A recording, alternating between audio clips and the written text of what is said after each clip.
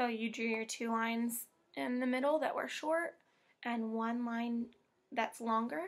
You drew two ovals and three lines in each one. Now what you're going to do is draw the legs on your dog. So you're going to do a giant J that way, giant upside down J that way. You're going to do a giant upside down J that way. Now you're going to add the other parts to the dog's feet. So you're going to give it like a shoe. Okay? And you're going to do that on both sides. Next, you will connect the lines to your feet.